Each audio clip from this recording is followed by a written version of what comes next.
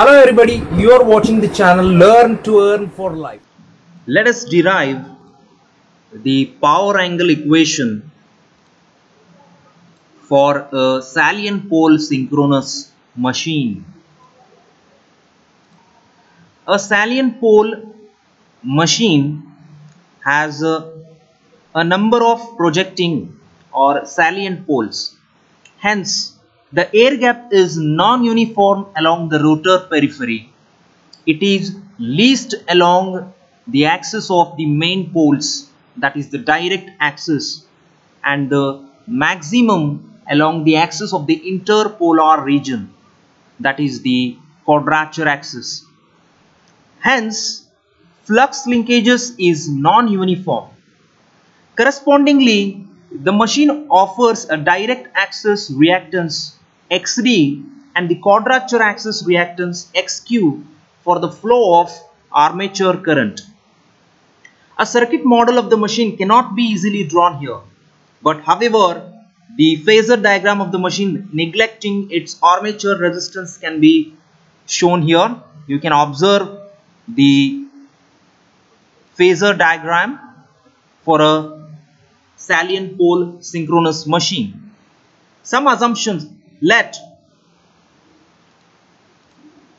E at an angle delta is a generated voltage in the machine.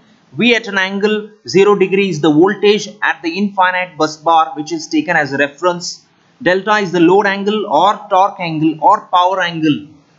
XD is the synchronous reactance of the machine.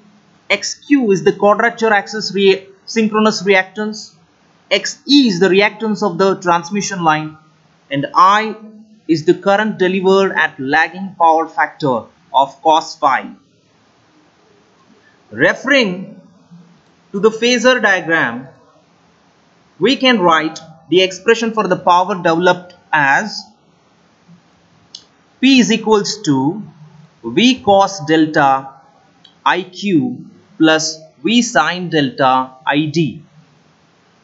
Also, referring the figure, we can write that by the observation IQ XQ is written as V into sine delta. IQ further can be expre expressed as V sine delta divided by XQ. Again, we can also write ID XD as E minus V cos delta.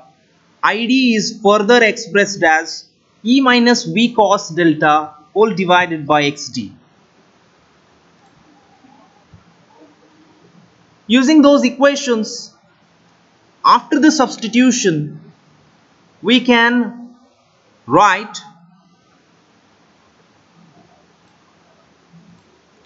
P is equals to V into E whole divided by xt multiplied by sine delta plus v square into bracket xd minus xq divided by 2x dxq whole multiplied by sine 2 delta. By this equation, we can say that there is a fundamental and second harmonic component of power is mentioned in this equation. The first term is the same as the first term you can observe here that is V into E divided by XD multiplied by sine delta is same as for as round rotor machine with XS is equals to XD and this contributes or the this constitutes the major part of the power transfer for this machine. And the second term that is v square into xd minus xq divided by 2x dxq multiplied by sine 2 delta. That is the second term is quite small. That is 10 to 20 percent as compared to the first term and is known as reluctance power. So this is the power angle curve of the machine. You can observe power angle curve of the machine. It is noticed that the maximum power output triple SL